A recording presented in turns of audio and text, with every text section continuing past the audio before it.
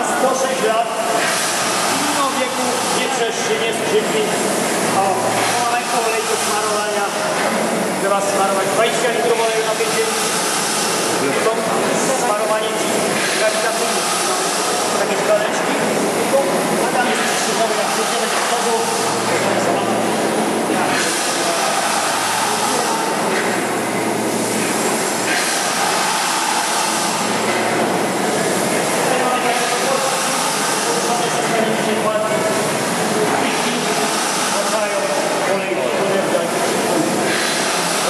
509, wtedy powstała.